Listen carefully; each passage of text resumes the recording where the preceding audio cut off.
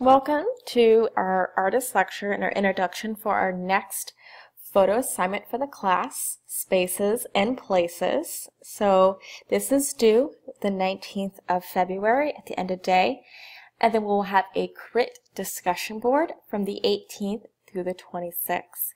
So this is something you'll be active um, discussing in the discussion board, and there will be a page to talk about how to critique art so the instructions are we're going to be inspired by this artist lecture. There'll be two separate artist lectures. We'll explore landscape and interior photography. The goal is to convey a sense of place. Tell a story, emotion, or feeling with your photography. Photographs should have little to no people in the frame. Think about it.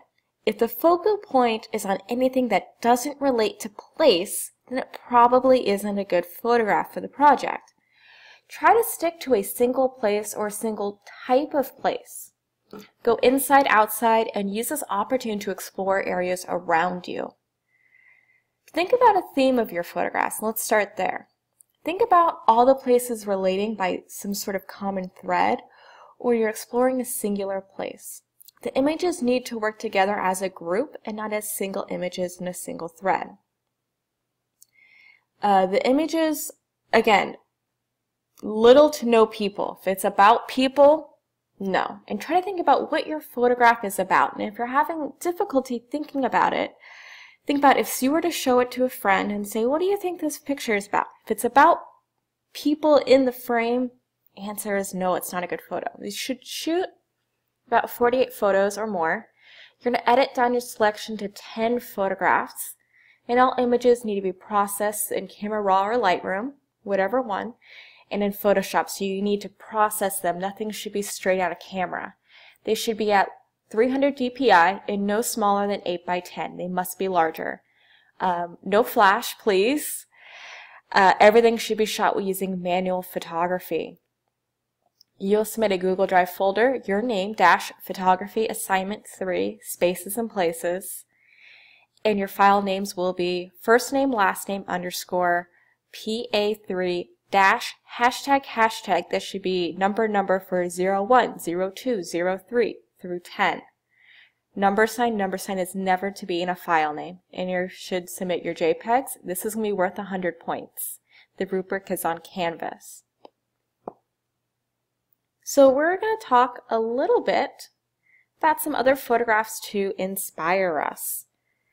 So this is might be helpful to think about travel photography, real estate, architecture photography, um, location, um, what the viewer can bring their knowledge in. So what can the viewer bring their personal knowledge of certain places? Maybe they know things about their experiences at coffee shops or bedrooms or a park. Landscape photography is a form of documentary photography that describes the geography of an area or convey, or invokes a sense of place. Artists working in this genre may di might document the build environment, the vernacular structure, nature, or evidence of the presence or impact people on the land. I like to um, include uh, some quotes. From this, is from the Poetics of Space from Gaston Bachelard. Therefore, the places in which we have experienced daydreaming reconstitute themselves in a new daydream. And it is because of our memories of former dwelling places, are we lived as daydreams, these dwelling places of the past remain in us for all time. So Amanda Taves, and here is her website. If you want to click on it and find more, this PDF is available for download on Canvas. She explores estate sales for another of her projects, but she was really interested in sort of the space and these intimate encounters of going to these estate sales.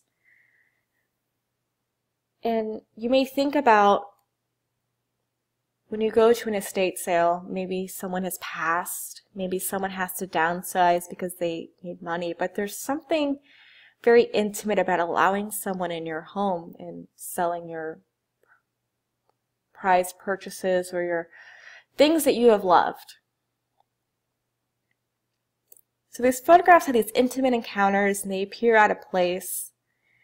They're honest. They might infer to the habits or physical interactions of who the space and the contents refer to. A lot of them are through, she uses framing. So we have these frames here and here, um, shooting in and out of windows. So it's sort of a duality of space of the interior looking out exterior and interior working together in these spaces. Using natural light. And thinking about what the space is, viewing out, and what that might mean for a person who lived there. These are mostly Midwestern homes as she lives in the Chicagoland area.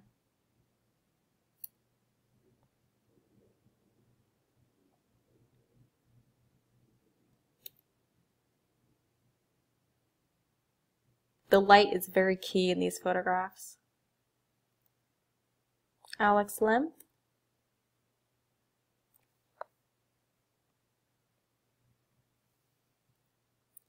So he shoots the interiors of libraries as for these intimate spaces, quiet, thinking about what happens in a library, who visits it. So people are important when we look at these photographs, but it's not about the people, but it's about the place, the location. Everyone has their own connection. When I look at these photographs, I can get the smell, the library in my nose, and thinking about my memories and my feelings there. And that may be different from person to person, but there's something really nice about the connection to it that isn't so quite personal. This quote, Suburbia fails us. It is an idea of a place rather than a place. The way you can tell is because there's so many places in the country that seem like no place in particular. Linda Kuhn. So she photographs for these uh, lost suburban areas sort of where things are dying, these sort of replicas. Kind of where suburbia is dying within her work. There's this sadness but sort of warmth that I get from these photographs that I feel from. It makes me think of being a child, running around. What does it make you think of?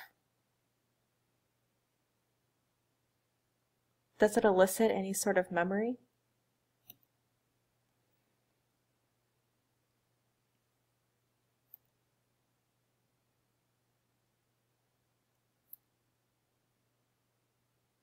A house that's been experienced is not of an inert box. Inhabited spaces transcends geometrical space. Victoria Hogan. So she photographs these homes. Um, she's, I believe, from the East Coast, and she moved to the Vegas area for grad school, and she was very interested in the types of homes of being so different from what she grew up in. These sort of desert landscapes and how these people lived. How does the front yard, which is sort of this communal space, this welcoming to the home is transcribed in from place to place. She's using her photography as an act of discovery. She finds something odd about her new surrounding and uses her camera to explore her place and feel connection to it.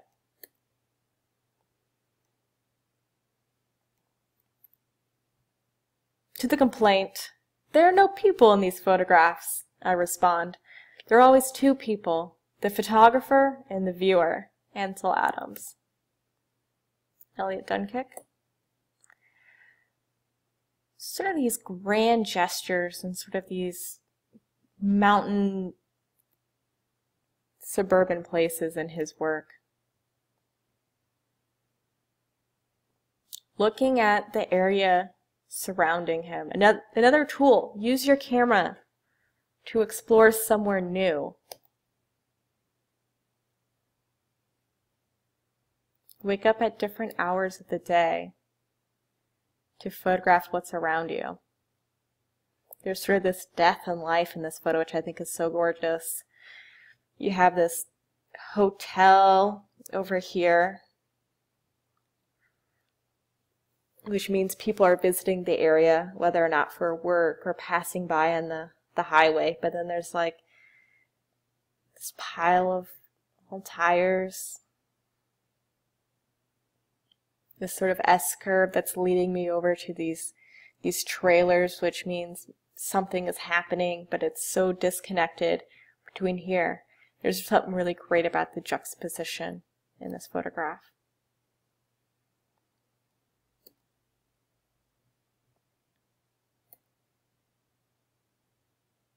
It's not down in any map.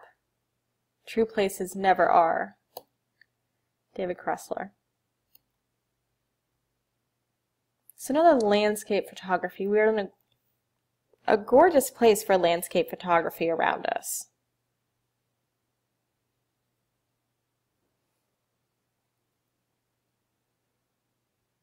So he goes to these these monuments and it kind of takes what wouldn't be the normal photograph. But also think about the viewpoints where whoever constructed the area said that that's where we are going to look at. And it's more than just look at this beautiful place, but it's this is the place we're supposed to look at the beautiful place. And it's it's this duality of place which is deeper than just oh I took a snapshot of this this these mountains, but there's this this place where we're told to go to. There's some information, and then there's that place. There's two places going on.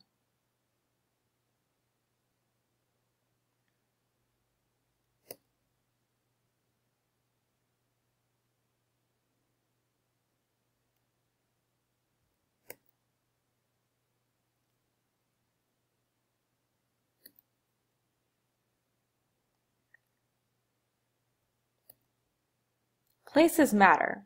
Their rules, their scale, their design, include or exclude civil society, pedestrianism, equality, diversity, economic or otherwise, understanding of where water comes from and garbage goes, consumption or conservation, they map our lives. Ihsan Berardi. So he focuses on landscapes and urban environments. Um,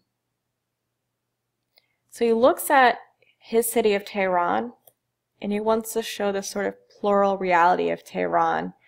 Um, how it's not just this sad place, but there's there's life there. There's things happening, and it's got these two realities of what's going on in the Middle East.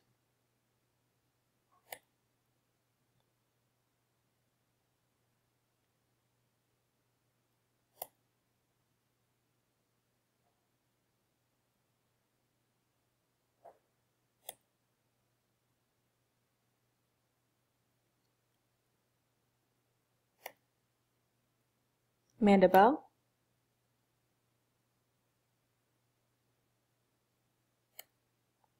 Looking how nature exists in sort of a where people live.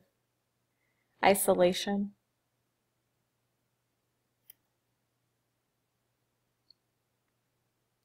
You can go inside. A lot of these photographers are shooting outside, but you're welcome to explore an interior place.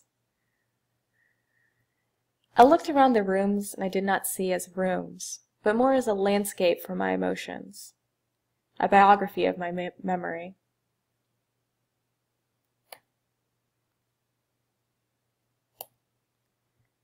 So what does a room mean in someone's domestic interior space that we are allowed in?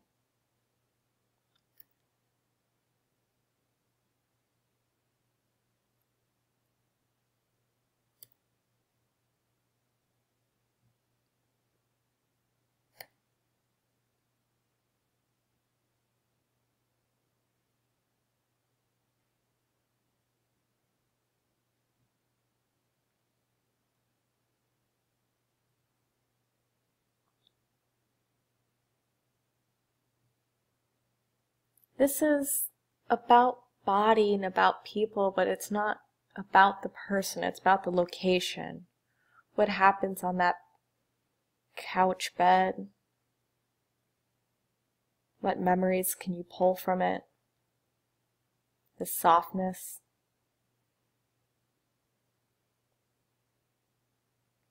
Asking of your viewer to really connect to the scene and let them have an empathy of it.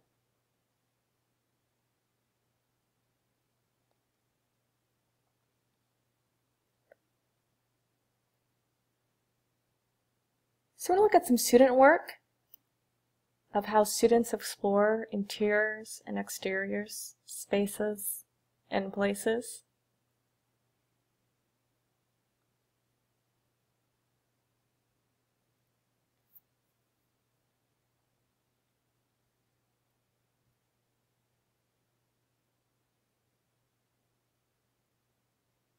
Some of the places were familiar, some of the places were not. Some of the places they weren't technically allowed to visit.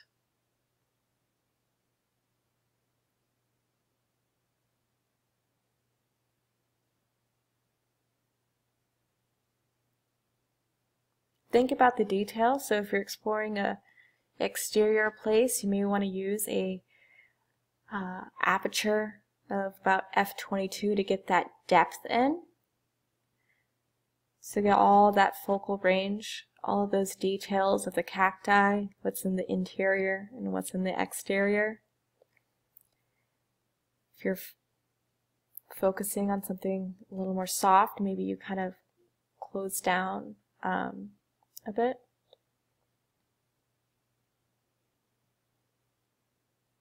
Think about light. In Arizona, we have that harsh, harsh sun sunny every day.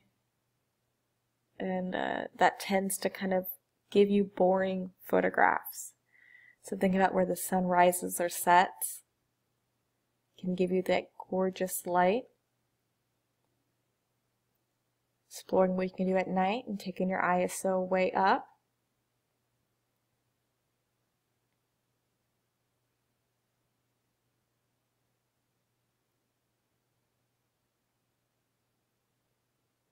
Exploring, using as an excuse to visit other areas.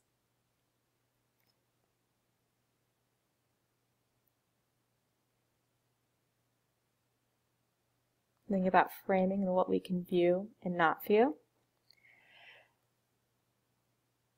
So I want you to have fun with this assignment. There'll be um, a chance to do a uh, artist inspiration, and there'll be another artist lecture. If you have questions, please message me, but I'm really excited for you to get on this sort of larger photography assignment. And I hope you enjoy and look at some interesting photographers, go to their websites, see what else they're working on.